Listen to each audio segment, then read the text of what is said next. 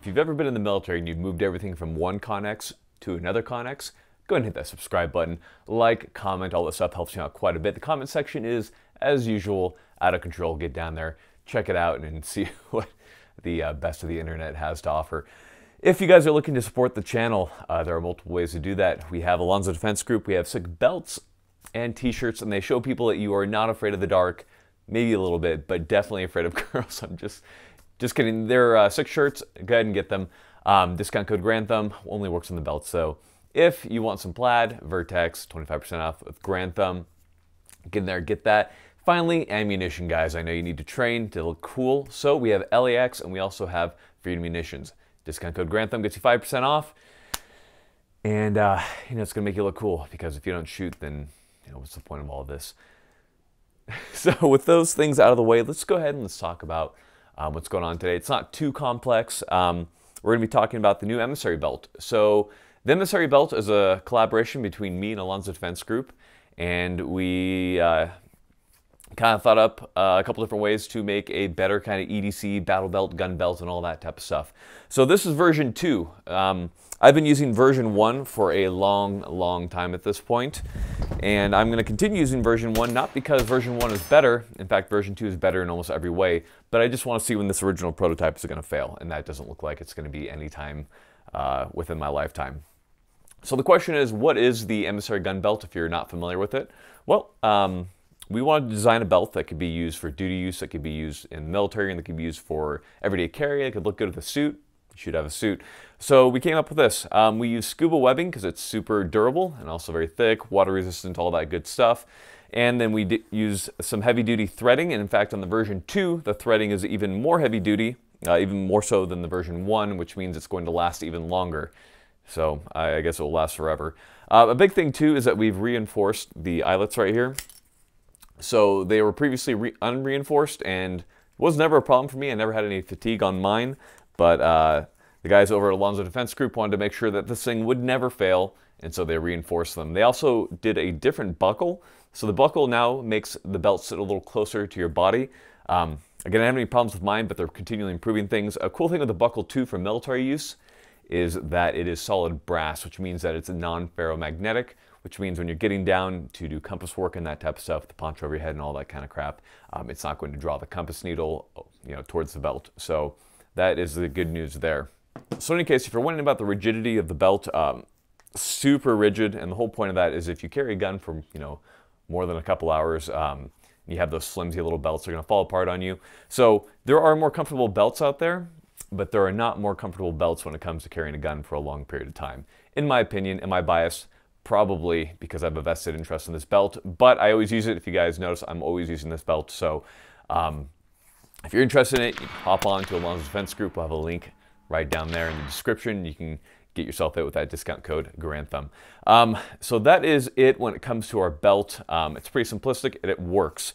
So the question is, is as far as my belt setup goes, what's that looking like nowadays? Because um, you know, there's always a question about kind of how I've updated my belt kit and that type of thing. So I figured we take a quick moment and talk a little bit about it, about how I have mine set up. Of course, mine is set up for military use primarily and shooting and that type of stuff. If you're a police officer or you run vehicle ops, you're gonna have a different setup because, you know, if you're sitting down for in a car or something like that, you're not gonna wanna have as much crap or you're gonna wanna have it in a different place and all that type of stuff. So I am going to intersplice between you know, video of me wearing the pants and then me talking about them. That way you're not having to stare at my crotch uh, for so long because we don't want that. I know there's going to be a comment about that now. Um, so I am running Esstac uh, KYWI magazine pouches. I'm a huge fan of them. The reason is that they use Kydex retention. It's easy to draw from them. They work well, all that type of stuff. Um, I have mine set up for a Glock. Of course, if you have a different pistol, you know, run different pistol mags and that type of thing. I have attached them to the belt using the belt loops that come from Esstac that you can buy. Um, highly recommended. They keep them very stable on my belt. Uh, a question I get asked a lot is, do I use the connected ones or the disconnected ones between the magazine and the rifle, between the pistol magazine and the rifle magazine pouches? Um, sometimes it depends on the setup. It depends on where your belt loops are on your on your pants and if it works. On this particular setup, I do not. I have them separated, but I sometimes do run them together. So either is going to work. Don't stress over it too much um, if that's the setup that you're going to be running. Um, my rifle mag pouch, if you notice, I have the rifle tilted back. The reason for that is as your hand comes down to draw, it's going to be easier to have your hand tilt back, grab it, rotate it into the gun. Easier if you have it facing forward, that's kind of less ergonomic. It's going to make it a little bit tougher to draw it. Everyone's a little bit different, but this is the way that a lot of people run it. Doesn't mean that it's specifically the best, just um, for most human beings, it tends to work really well. Moving back from there, typically you're going to see a D-ring or something like that um, holding a bunch of chem sticks. So I've opted to go with a Blue Force Gear Marco. If you, if you notice kind of from here, I have a lot of Blue Force Gear products, um, not because I'm paid by them or anything, just because I like their stuff quite a bit. So the Marco um, uses many chem, mini chem sticks in like a magazine. That way, when you need one, you simply pop it out, crack it, and throw it to the ground as opposed to having a bunch of mini chem sticks and cracking those and pulling those off and taping them and all that type of stuff. It just saves time. Um, I'm a huge fan of it. Moving back from there, kind of the big thing everyone's going to see right here is a dump pouch. So why a dump pouch? As you know, previously I've talked about not wanting dump pouches on my belt kit. Um, the reason is, is I talked to a bunch of people who needed to have dump pouches for a variety of reasons um, due to their job and being able to store things. So I decided to um, have a dump pouch on my kit to show people kind of what I would do if I had a dump pouch. This is Blue Force Gear 1. It's very small, compact. You need it, you simply pull down on this and then it's going to pop out your dump pouch. It has a nice little retainer on the top so you can cinch it down to make sure nothing's going to fly out of there. So if you need a dump pouch, I'm a huge fan of the Blue Force Gear uh, dump pouch and it is good to go. This is the belt mounted option. They also have a MOLLE option if you have a MOLLE belt. Um, heaven forbid you don't have ours. Moving back from there, I have the Blue Force Gear Micro Trauma Now pouch. I'm a huge fan of it. It can be pulled from either side to release it. Um, I do have the medical kit that comes from Blue Force Gear, which is why I think it stays in place. Some people don't use the included kit because it costs a lot of money, and then they find that it doesn't pack down correctly, and then it tends to kind of undo itself and that type of thing. So uh, if you're having those troubles, or even the trouble with the um, kit that usually comes with it, what I would recommend is putting a little bit of Velcro um, in there because there's a Velcro pad that kind of keeps it in place. And if you put a little bit more in there, that's going to keep it from going. Big thing is, is that you can stuff a lot in this kit and the more stuff you have in there, the more pressure it's going to put outward and keep it from going anywhere. So it's a good option. There's also other good options from like Crow Medical and Dark Angel Medical and all those groups. So find one that works for you, but I'm a huge fan of the uh, Blue Force gear. Going from there, I don't have anything from here to the pistol. That way the butt of the handgun doesn't get in the way. Uh, the holster that I'm running is a Safariland 6354DO. It is an ALS holster. And that ALS holster is on one of the QLS mounts, which is looks like basically a giant buckle, so it could come undone. Um, this is running on a Safariland mid-ride adapter. I like the mid-ride because it drops it just about the butt of the handgun, just about to like the belt level, and uh, that makes for a really smooth draw. Now, as far as the ALS goes, how it works is it locks onto the ejection port. That way, once it's in the holster, it's not gonna go anywhere. But as soon as you hit that little release right here, the thumb release, it's going to release it and then it just locks back in. I'm a huge fan of it. Um, depending on your job, you might have to do something with a hood or something like that, and that's fine. Um, as well, on my 6354DO, I also have the OTS uh, nub mod, and that just makes the um, release a little bit larger. It's a little bit easier to draw from and that type of thing. So big fan of that, and that is my holster setup. Moving forward from there, another change that I have is I have a tourniquet mounted on my belt at the front. This is from Titan Tack Innovations.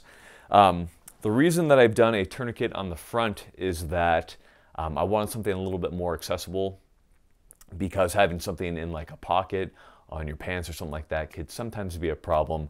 So I want something that I could just get to. I'm using the Soft T wide tourniquet. There are, of course, tons of different tourniquets that are good. Uh, find whichever one uh, has good reviews and that type of thing. I'm typically going to recommend Cat and the Soft T wides. Get training with them, otherwise you're not going to be good with them. Um, as far as the pants are concerned, they are Crye DriFires, so it's kind of like a weird mix, and they are in woodland. They're kind of expensive. Um, if you need them, you need them, and it's going to kind of depend on your job and that type of thing.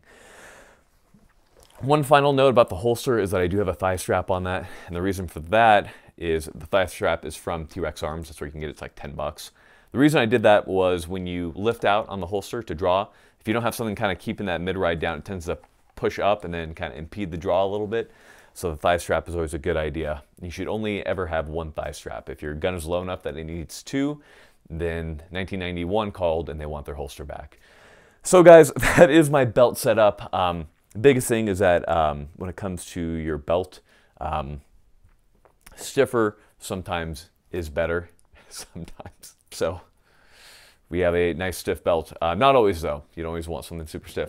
Um, thank you for watching guys. We know that's what's really important is looking cool. The belt undoubtedly looks cool, but what looks even cooler is getting the training to make sure that you know what you're doing. So if you're looking for training, you have Cogworks and Bear Solutions who come out to the West Coast quite a bit middle of the country, you have Bear Solutions, and then on the East Coast, for my mill guys, you've got Esoteric.